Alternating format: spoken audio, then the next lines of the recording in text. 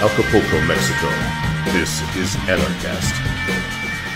Hey, everybody, welcome to another edition of Anarchast, your home for anarchy on the internet. I have a first time guest coming in. It's actually a friend of a past Anarchast guest, Marc Victor, uh, the uh, lawyer, the uh, attorney for freedom.com lawyer, uh, anarchist, uh, past speaker at Anarchapulco. And uh, the person I have on today is Andy Marcantel. He's a criminal defense attorney in the same firm as Marc Victor. and he was just telling me that he spends all day just fighting the government and trying to free people. And that's exactly what we love here. And so I wanted to have him on. So, Andy, thanks for coming on but I got to make sure. Are you? Uh, how did you become an anarchist? Well, Jeff, thank you for having me on. That's a great question because uh, the the anarchy. Uh, full blown ideology is kind of, uh, I, I, consider it kind of a late in the game. I'm a late in the game anarchist. Uh, the reason is, is because uh, I simply had other focus, philosophically speaking, than how I think the government should be assembled, or if there even should be one assembled. I have a, uh, a, background in moral philosophy, ethical philosophy. All my undergraduate and a lot of my graduate work, even through law school, uh, was in uh, moral and legal ethics. And um, the, uh, the, the first thing I had to figure out as a uh, young philosopher and young lawyer in training was to figure out exactly what I uh, think the ethical code and moral code of people should be. How should we treat one another? Um, and after um, poring over uh, uh, countless thinkers and worldviews, both Eastern and Western, uh, I came to a uh, the conclusion that I came to is this: that uh, coercion through force or threat of force is a bad thing. And um, as it turned out, when I then um, started doing my job as as a lawyer, as a defense attorney in my community, and as you put it, fighting the government every day. Um, that's when I started to see. You've heard. You've, I'm sure you've heard the uh, the old adage: uh, you never want to see how the sausage is made, uh, that because that'll turn you off to the sausage, and you probably will never look at the end product the same again.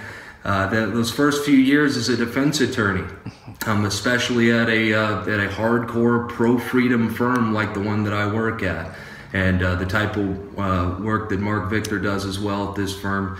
Uh, that type of work is seeing how the sausage is made. It's disgusting, it's dirty, it reveals a lot about the system in which you're in.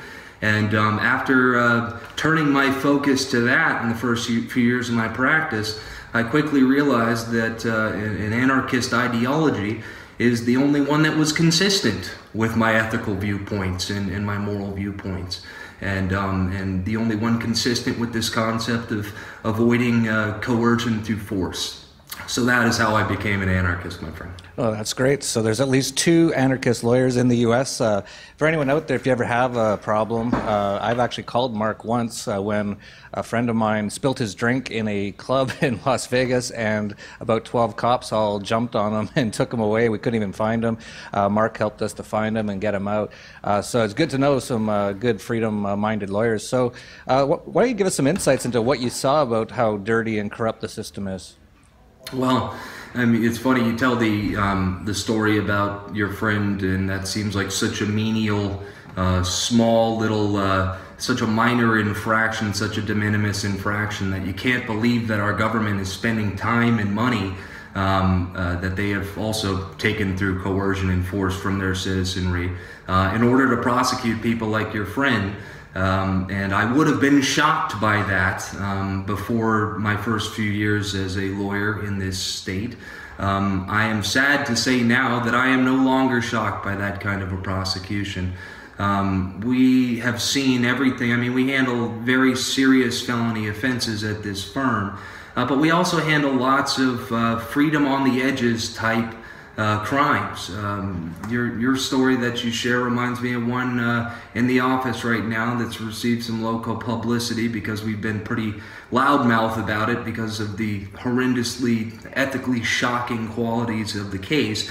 But um, we have our government prosecuting people for using the F word. That's right, people are using the F word and other people are being offended by it, and now our clients are getting charged with disorderly conduct and things of that nature. It's it would blow your mind um, some of the things that uh, that our government spends money prosecuting, but not only um, substantive law because that's what we're talking about, right? Those things that um, shouldn't be illegal in the first place, shouldn't receive any sort of punishment in the first place. The drug war comes to mind, and and as uh, you can probably guess, that makes up a pretty good percentage of my clientele. Um, the the uh, state is required to list who the victim in a given crime is whenever they uh, prosecute a um, a defendant in this case, and uh, it would uh, probably shock somebody not involved every day in the system to see how many times that victim is listed as the state of Arizona or the United States government or some other spooky specter, faceless uh, victim that uh, is never going to show up to court and doesn't actually have a pulse. See that kind of stuff all the time. So the substantive law totally screwed up. Um, but as far as other things that uh, have make me made me a bit uh, uh, jaded, I guess you can say, um, with the system is um, how the procedure works. How um, how, for instance, prosecutors are able to wield the punishments of horrendously over penalized crime um, over people in order to get them to take uh, uh, plea deals that um, on cases that they really should be taking to trial and putting in front of a jury of their peers. Um, the way that the system is structured because of the uh, horrendous overpenalization of so many of the uh, crimes in this state is pretty much one where defendants are uh, set up to fail, uh, where um, you'd have to be an idiot, and even even a pro-freedom lawyer at that point would would be sitting there advising you, you can't take this to trial. You can't know. Um, um, no reasonable person, given the fact that you could spend the rest of your life locked up in a cage, um, wouldn't take this deal. Um, unfortunately, that uh, causes even the most freedom minded of attorneys at times to uh, advise their clients um, that uh, sometimes making the plea deal and the handshake deal with the prosecutor and and um, making a deal with the devil essentially is the best way to go. Um, and that's the tough part about what we do. There's so many cases that we want to bring to trial, that we want to fight the government, we want to make them carry their burden. But at the uh, at the end of the day, our number one primary goal is to the clients. And um, you know, it's uh, when you when you see it from this perspective, and you actually see the sausage being made, and you see the the inner workings of how the um, government has structured um, its justice system. It, uh, it's enough to make you um, question its legitimacy, to say the least. Yeah, to say the least, especially there in the U.S. The U.S. is pretty much the most out of control police state in the world. Uh, there might be a few others. Uh, I don't know of them. Uh, I've never been to uh, North Korea. It's probably worse. Uh, but, uh, you know, the U.S. has more people in cages than any other country in, in the world by far. I think something like more than uh, every other country total. I think it's it's a massive amount. Um, mm. And as you pointed out, and I've seen this so many times. Like I, I, actually spent a lot of time here in Mexico. I've never known anyone who's like, "Oh, I got arrested on this, and I got to show up at court on this date." They just don't even have that here, uh, unless you did something incredibly serious, like murder somebody or or, or something along those lines. It's pretty much it's not going to be uh, dealt with that way. Um, and but Jeff, I did a little bit of just on that note. I did a little bit of research on you um, in preparation for this interview, and uh, you make uh, your your home in Acapulco sound like paradise. I always uh, I've seen several videos of you lounging on beaches, smoking cigarettes, um, perhaps those around you drinking a cocktail, having a, a grand old time, and um, I gotta tell you, you uh, you make me pretty jealous uh, at points. I'd love to come and visit you down there. Well, I think you're coming to the uh, next Acapulco conference, if I'm not mistaken, right? I will. I will absolutely be down there, and I hope that you'll uh, take the liberty of showing me around and introducing me to some folks, so I can get a taste of uh, of your world as well. Yeah, absolutely. Uh, you know, it's a whole week of events. Everyone's going to be around. There's lots of parties, lots of hanging around. Uh, so you'll definitely see that. It's a totally different world by far. Uh, but one thing I've noticed, though, is uh, you know, all my American friends, they've all been kidnapped at some point by the police. Uh, they've all ended up in a cage at some point. They've all been, you know, in a court or having to do some sort of plea deal. And that brings up uh, your point. Is I've I've heard from so many of them. They're like, yeah, I got caught with a plant in my pocket, uh, and they said it'd be like 10 years in jail, or I can take a plea and get like a year of probation or something. And I think part of that is they're arresting so many people in the U.S. that there's just no possible way they could actually take it all to court, could they? Remember my uh, my brief anecdote I gave about uh, our client who's uh, currently being charged with a crime for saying the F word. um, God forbid she should, uh, you know, say something that supposedly we all thought was protected by the First Amendment. Apparently, the First Amendment goes out the window as soon as somebody gets offended by it. But I bring up that story again to kind of answer your question. There's so much that is penalized. These statutes that we have in our country are so overbroad and so vague, and they can be twisted and turned by prosecutors. We have seen the most outlandish theories of prosecution that they just generate so they cast such a broad net that pretty much anything can be prosecuted um, by any prosecutor at any time. I'll share a brief anecdote um, with you about this notion of overbroad statutes and and generating crime out of nothing. We had a uh, case that Marc and I worked on one time where there was a uh, our client was a uh, security guard and um, he was growing a legal uh, medical marijuana grow, an actual state sanctioned medical marijuana grow.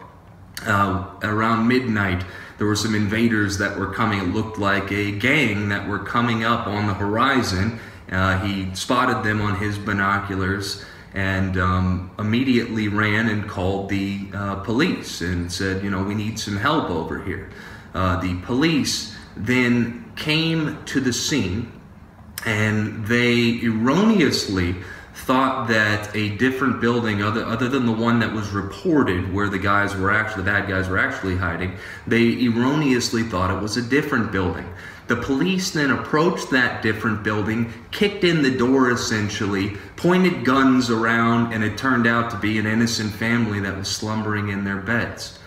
Well my client was charged with aggravated assault with a deadly weapon for each person who was in that building, the, the erroneous building, because the state's theory of the case was that his actions directly caused the police to commit assault against the innocent family, and therefore they charged him with several major felonies. Are you getting the idea what I'm talking about here? That you can pretty much prosecute anybody for anything at any time in this country?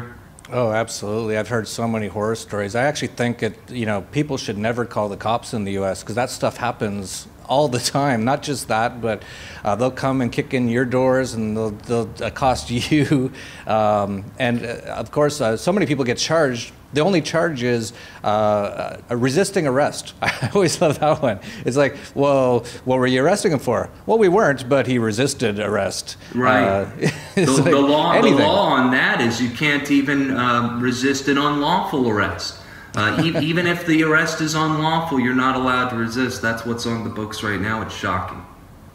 Yeah, it's uh, out of control. It must be crazy for you to be sort of living in it and having to see it every day.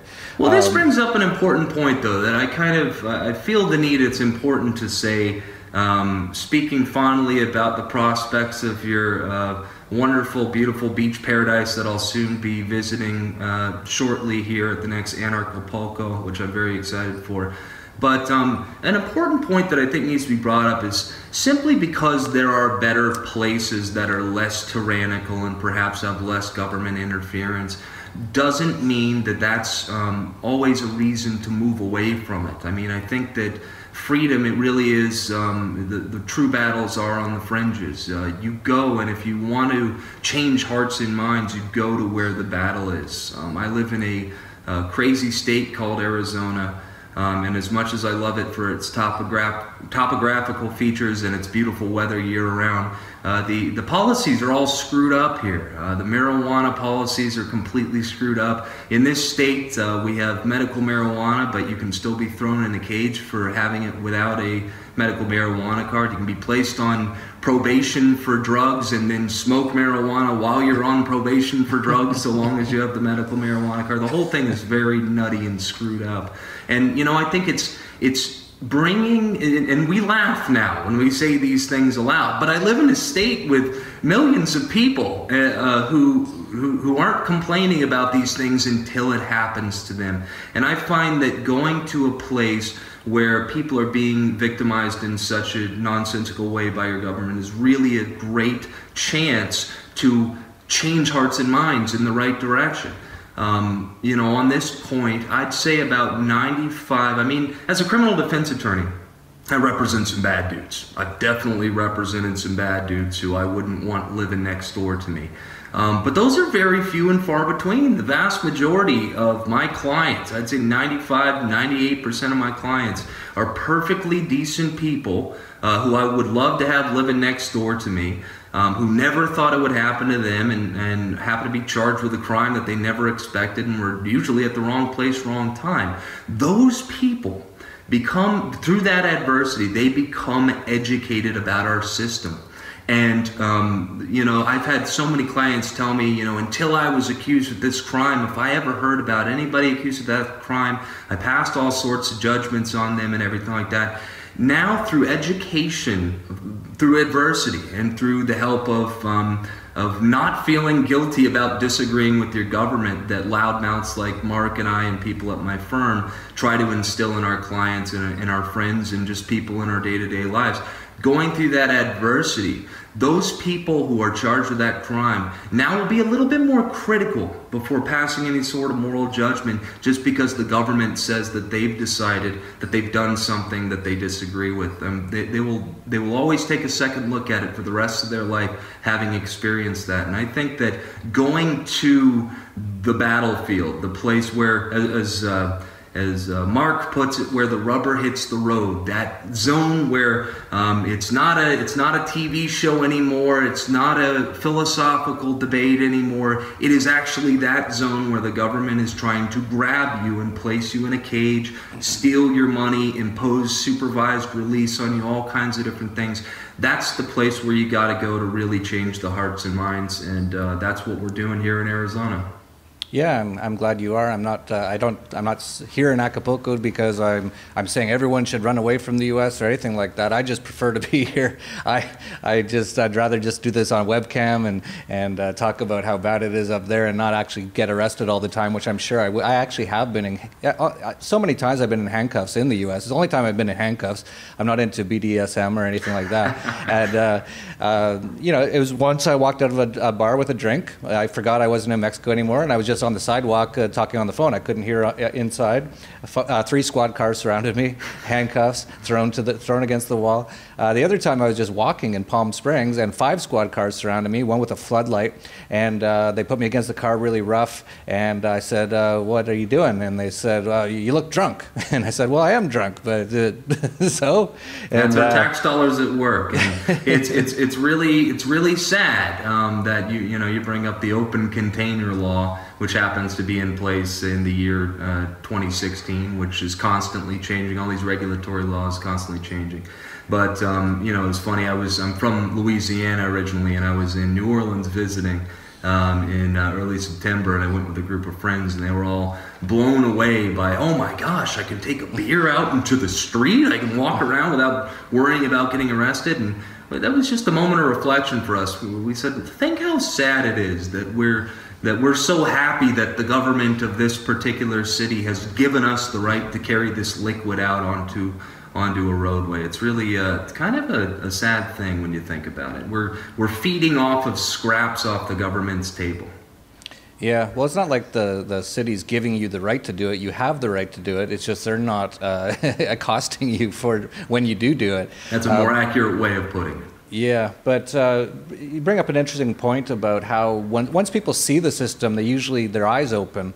Uh, it's just sad that people need to actually personally witness these things before they try to do anything to change it. And that's really the sadness of government. And that's why government rarely ever you know, rescinds. It, always just grows. Look at the U.S. government, the smallest government in the world, the freest government in the world, 200 and some odd years ago. Now the largest, the biggest police state.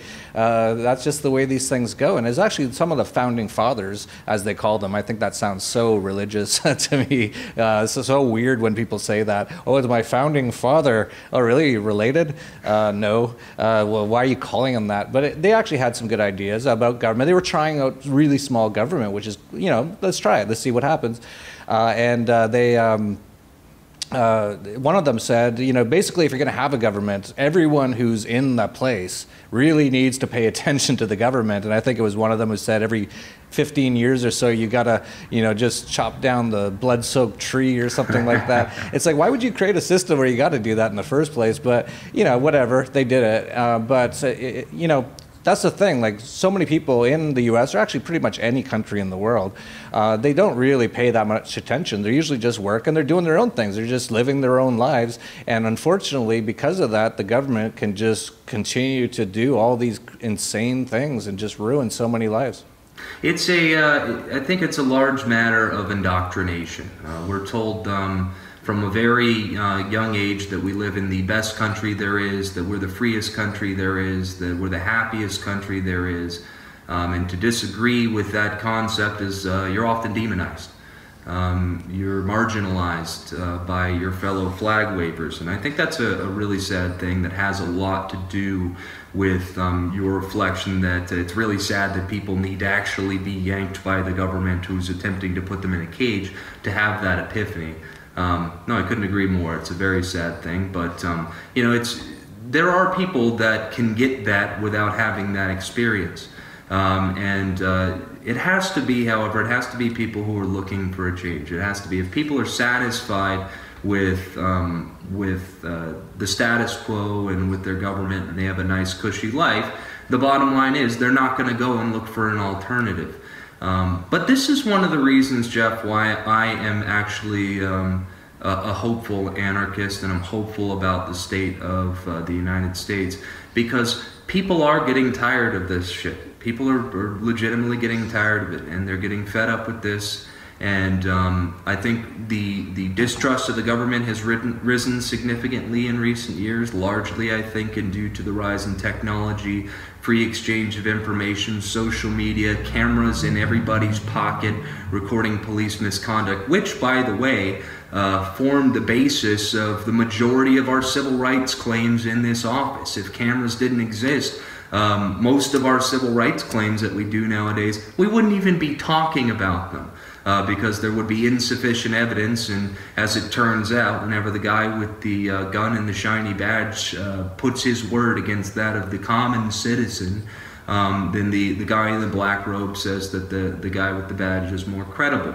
So um, I think uh, these leaps in technology and social media and free exchange of information um, are really helping to uh, cause that dissonance. And I think we're um, you know, if, if things don't change pretty quick, I think we might be due for one of those Jeffersonian revolutions you were talking about earlier, where that tree of uh, liberty might be needed to be watered with blood eventually. Hopefully, it won't come to that. I'm a man of peace myself, and I hope to see uh, peaceful change, but, um, you know, I think those words are prophetic and at least should be a wake up call.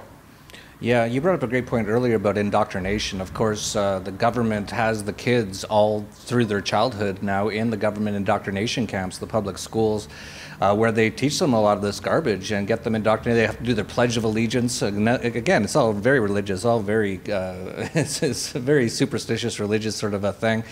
Then they go home, they turn on the TV, and oh, it's the football game. Well, first we got to stand for the national anthem, and here comes the military jets, so they're protecting us, and the flags, and all, you know. So they're just completely indoctrinated. And you bring up a good point, and I'm I'm always very hopeful as well. And I I I think the U.S. is one of the I'm less hopeful about the U.S. than I about other parts of the world, just because they're so indoctrinated, they just don't seem to get it. But uh, I do see a lot of stuff going on as well. I see on the internet people are waking up. You're seeing people uh, turning away from the mainstream media. It's now got less than 10% of people actually believe it's actual truth uh, information. How could think, you? How could you after this last election? What a what a fiasco that was. Everything we were told the old the whole time turned out to be a pile of BS and uh, exchange of information on the internet showed us that uh, these supposedly neutral sources were uh, colluding secretly in back rooms with uh, candidacies. And how could you possibly um, trust uh, mainstream media at this point? Their asses are hanging out at this point. The emperor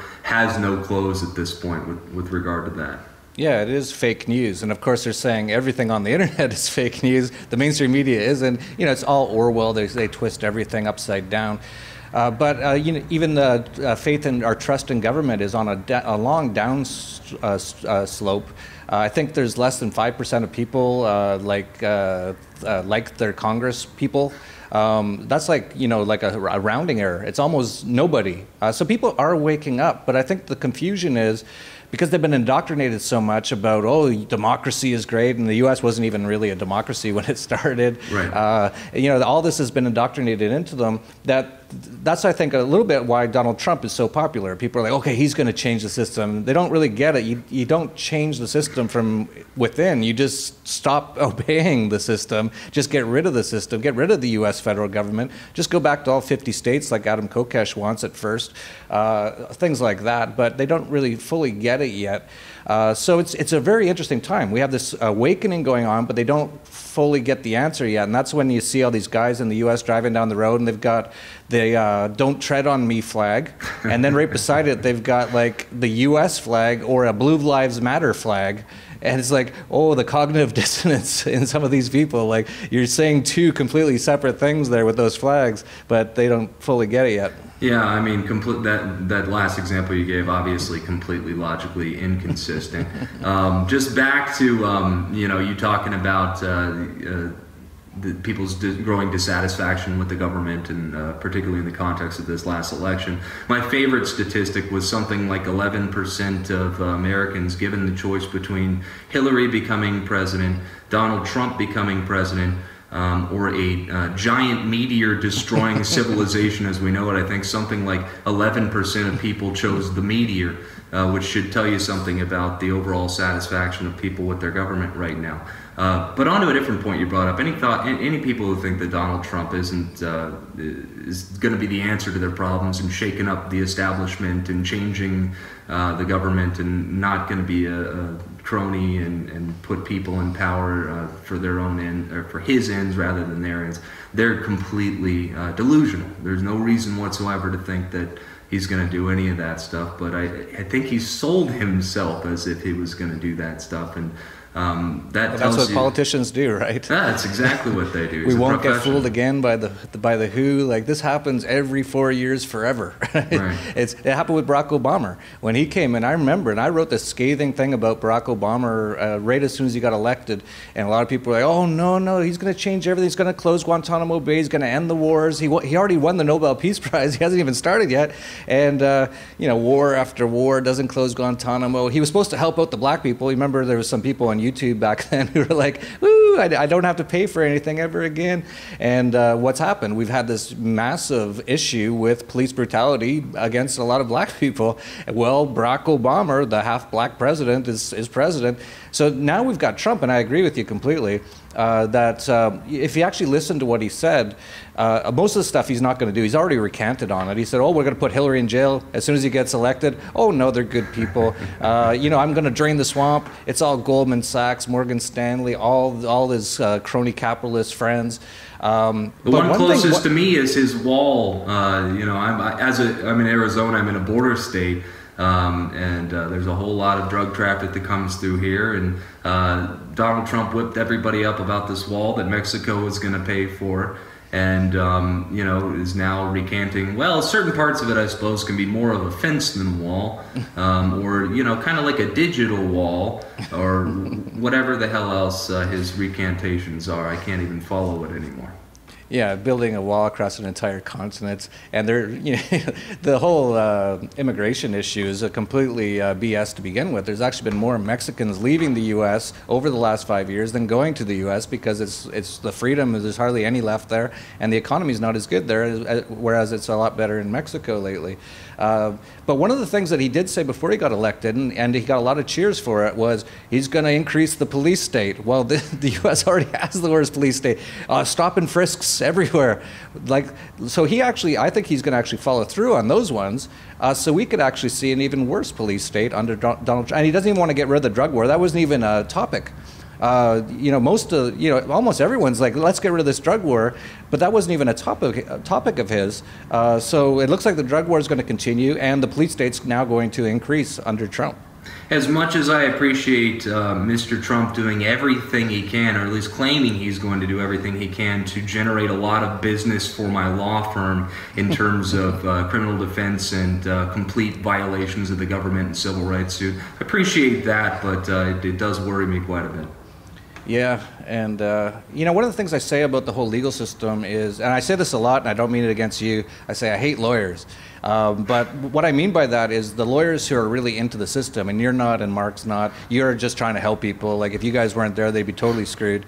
Uh, but uh, so many people, they're just, you know, this whole uh, every, everything's involved with the government, right? So the government makes a law that drugs are illegal.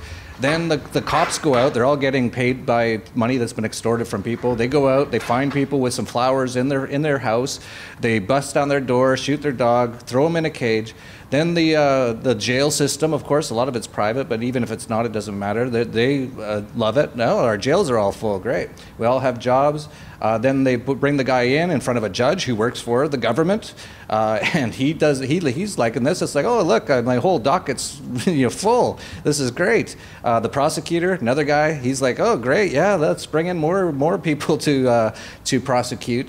Uh, the only people that I might give some leeway to are the defense attorneys. I wonder what your take is on that. Are, are like most of the defense attorneys generally decent people, or do you think some of them are kind of just like, yeah, let's just keep this going, sort of thing? That's a great question, and one of the reasons, one of the highest compliments that we get all the time, I consider it to be the highest compliment I get, is uh, you know why I love you guys and why I always come to you guys and why I tell everybody I know about you guys. You first guys of all, aren't. First of all, it's really sad that he always comes to you guys. Poor guy. Like I, every I, week. I think I think some clients should probably have punch cards and maybe some frequent flyer miles um, associated with their criminal records. But um, so first off, one of the highest compliments that I think that we get at this firm is uh, the reason why we come to you guys and why our friends told us to come to you guys and why we tell people about your firm is because you guys aren't like other defense attorneys. You guys rock the boat. Um, many, many um, defense attorneys might as well be uh, the second prosecutor, in my opinion. Um, you will oftentimes see the good old boy mentality of let's make as few waves as possible. Let's make a handshake deal here in order to get the case out the door as quick as possible. Um, and it's um, it's frightening, really, because the system says that lawyers like that and with that kind of a track record um, are sufficient to uh, satisfy uh, your right to an attorney and to be um, equally represented at the table of justice. That's a frightening thought to me. So we strive to uh, throw as many hand grenades as possible, to rock the boat as much as possible.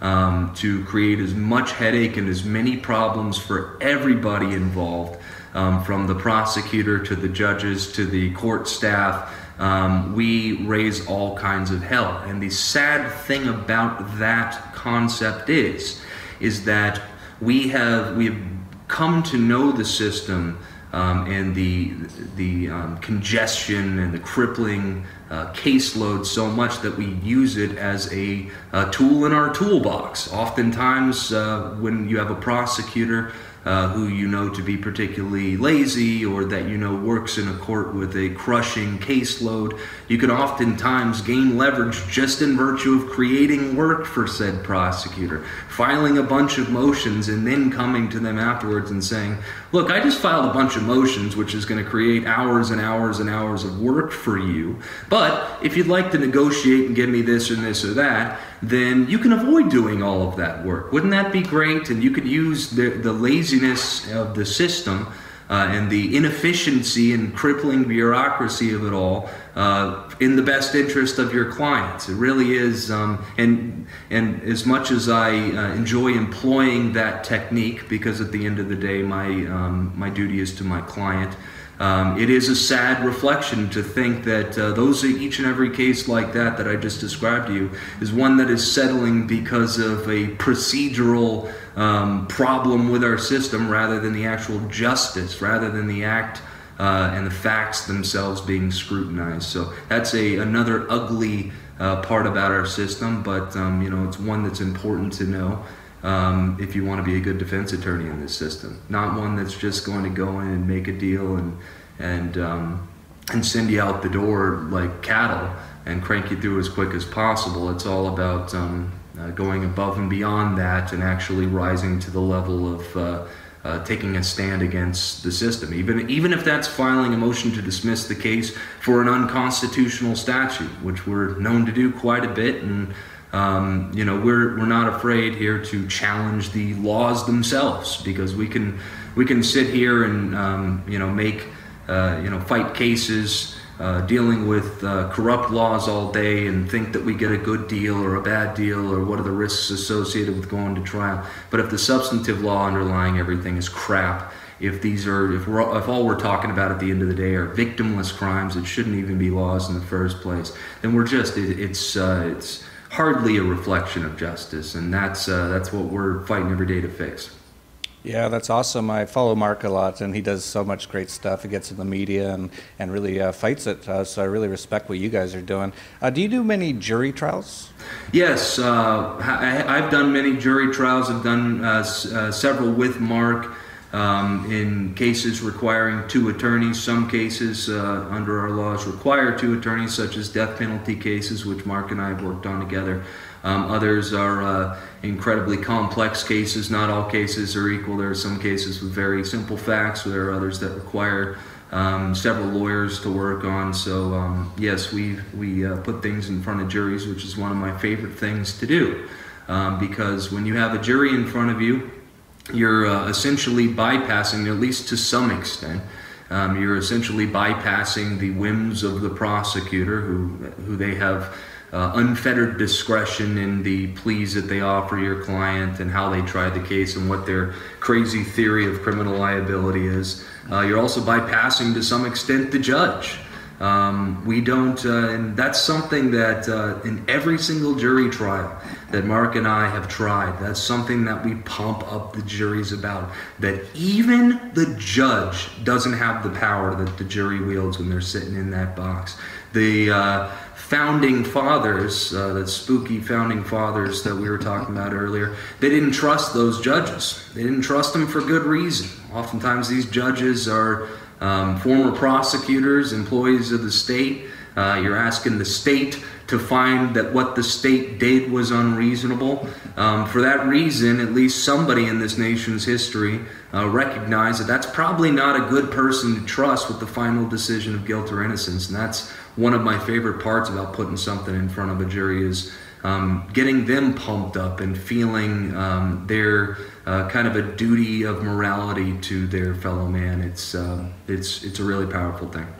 Yeah, one of the reasons I ask is because one of the, I think the only thing I can think of that I think anarchists should uh, get involved with the state on is uh, jury duty, as they call it, jury duty, uh, because you do have the opportunity if that person has not, uh, there is no victim. If the person listed on the piece of paper is the state of Arizona or the U.S. federal government, uh, you can say uh, no, not guilty. so you can do a sort of a jury nullification. But one of the things I know about it is they do everything in their power to make sure those jury people have no idea they can do that. Is that right? That is absolutely right. I'm not allowed to talk about it. When I'm uh, when I'm in front of a jury, I can't say, "Ladies and gentlemen, the jury."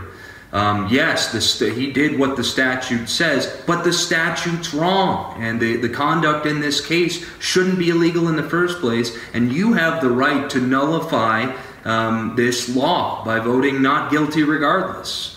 Um, I can't even say that. If I said that, I'd be uh, in big trouble with uh, the bar. Then you'd be in um, jail. Yeah, I'd be, I'd be in big trouble, and I'd be uh, uh, probably calling Marc down the hall to um, help me out. But at any rate, um, that's a very, very sad thing. It's one of the things that um, um, that we're severely limited by in a presentation to the jury. Another, of course, being we're not allowed to discuss punishments um, with uh, jurors, which is absolutely ludicrous to me.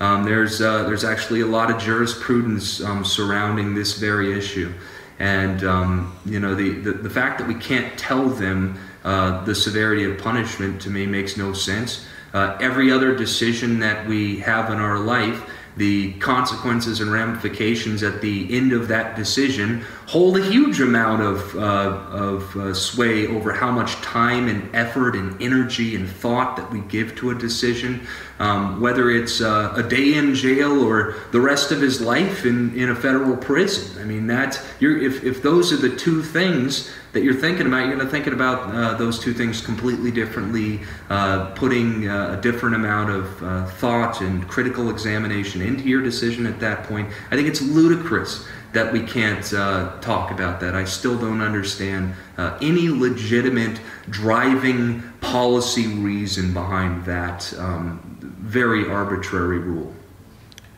Well, I think uh, if they allowed you to tell the jury that they can just say no, not guilty because the crime is not shouldn't be illegal, very quickly a lot of these, uh, almost all these laws would just be gone. and they they love this stuff. They they love filling up the prisons. They love arresting people. They love chasing everyone around and. Uh, you know, scaring them and all that kind of stuff. So for the anarchists out there, I get a lot of questions uh, like, "What can I do? What can I really do? I'm just one person." Well, go down to your local courthouse and pass out some jury nullification information to people coming into the courthouse. Ask them, "Are you going on the jury?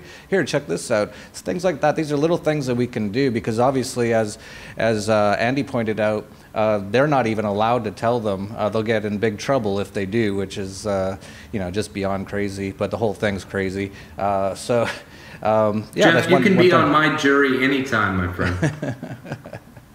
hey, if you didn't hurt anybody, just we're done here. Why, why am I even here? Why are you wasting my time? Which is, of course, more than half of the crimes that uh, mm-hmm. that I defend. So there you yeah. have it.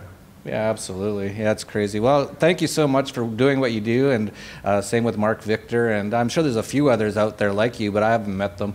well, uh, actually, you have. I wanted to give a, a, shout out to my friend Alessandro Fusillo. Uh, over in Italy, who's been a ah, guest yes. at, on your program before. I uh, I also had the privilege of meeting him and uh, picking his brain about uh, criminal defense fighting he's doing over there for for freedom in Italy, and um, you know, kind of um, comparing the the uh, procedural and substantive systems of our country. So they're out there. We we're out there, and we are uh, we're rocking the boat in our own little spheres of influence all over the place. So that's what we're going to keep doing. Yeah, I forgot about Alessandro. So that's three that I know of, decent lawyers. uh, so, anyways, I'm glad you're doing what you're doing. I, am looking forward to meet you down here at Anarchapulco. I think Marc wants to do some sort of panel or maybe some sort of speech related to this sort of stuff that you guys can give us some information on on uh, what you're doing. Uh, but uh, yeah, I want to thank you for coming on. Is there anything else you want to finish up with or let people know about? Well, um, if you want to know more about uh, the efforts we're doing in Arizona and uh, throughout the Southwest United States you can check us out, attorneyforfreedom.com, attorney, F-O-R, freedom.com. There's lots of great stuff in there, press of things we're doing in the state of Arizona and beyond. And uh, you'll find lots of great articles in, uh, in there written by uh, Marc and uh, stuff in there about uh, the efforts that we're doing to make the world just a little bit more free of a place. Yeah, I, I, so anyone out there, definitely keep that in mind. If you're in the U.S., you have a major problem with the uh, justice system, the injustice system, as I call it. Um, you know, I would definitely put them on, uh, first on your list to call. Um, and actually, Marc Victor has these fridge magnets with attorneyforfreedom.com on it, and he tells people to put it on the uh, uh, underside of the fridge because that's probably when the cops cut you down in handcuffs where you'll be able to see it best. Uh, so yeah, great guys. Really looking forward to uh, meeting you in person, Andy looking forward to seeing Marc again. And for anyone who wants to come and hang out with all these kind of people, amazing people from all around the world. Alessandro was at an Anarchapulco last year from Italy. Uh, so many people came from all over the world. We're going to have even more next year, 2017. Just check it out at anarchapulco.com, February 25th to 28th. And if you like this video, video please like, subscribe, share. Send it to some of your uh, people, your friends going to uh, law school. Uh, let them know what they're getting themselves into and, and try to smarten them up to be more like uh, Marc and Andy and actually try to fix the system and not just be a part of it. So that's it for Anarchast, your home for anarchy on the internet. Peace, love, Thanks, and anarchy.